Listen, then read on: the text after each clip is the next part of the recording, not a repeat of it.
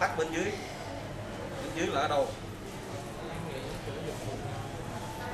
Bên dưới là chỗ nào là tới tràn D3 tại sao tắt ở tới tràn D3 cái này rất là hay.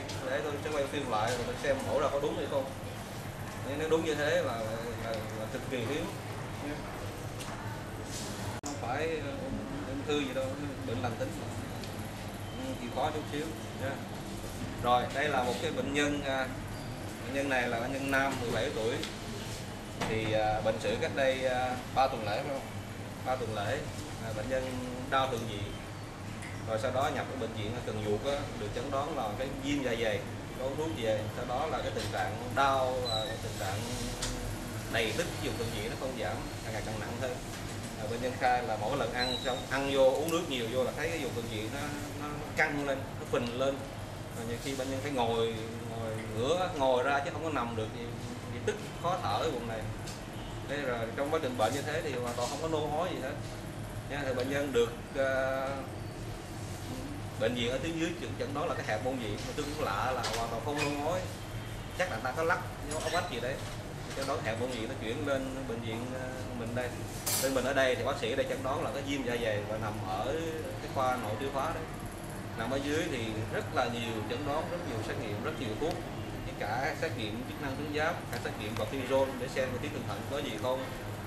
Rồi à, xét nghiệm amila sợi viêm tụy rồi nội soi dạ dày nghi ngờ có giãn dạ dày cấp. Nha. Thì đây nằm dưới hai tuần lễ ba gần 3 tuần lễ. Đặt cái lời viên ra thì ra cái dịch xanh rêu. À, ra rất nhiều dịch xanh rêu. Nội soi dạ dày tái tràng thì lúc đầu là thấy không thoáng. À, không hết dạ dày môn vị tá tràng không hết. Nội soi lần sau thấy một ổ loét rất là lớn ở một cái ở phình vị à, nghi ngờ là có chảy máu bệnh nhân này HCT là 28 phần trăm. Cuối cùng thì không ra CT luôn CT cũng đọc là bình thường không có dấu hiệu bất thường trên CT hết.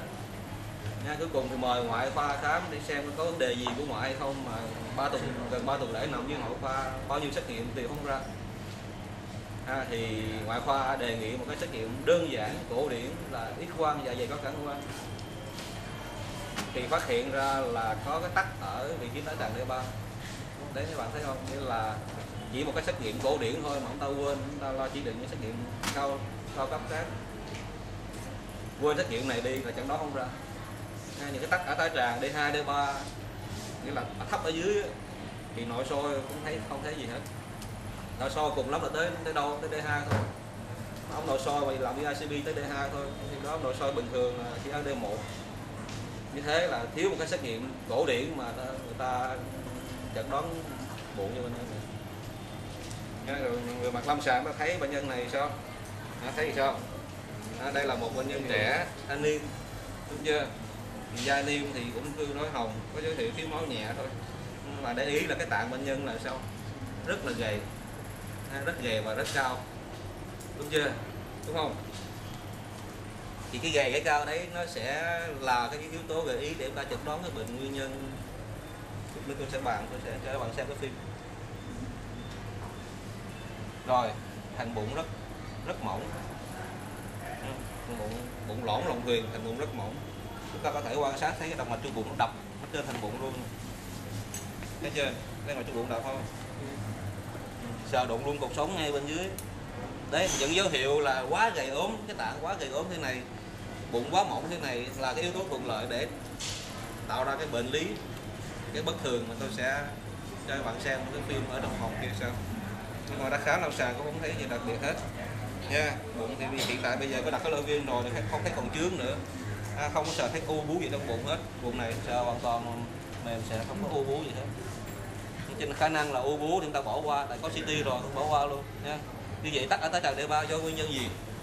Do nguyên nhân gì? Nha. Rồi thứ hai nữa là cái loét to phình vị là do nguyên nhân gì? Thì thông thường nếu là nguyên nhân chính là do tắc ở tới tầng D3 thì cái loét ở phình vị là cái hậu quả.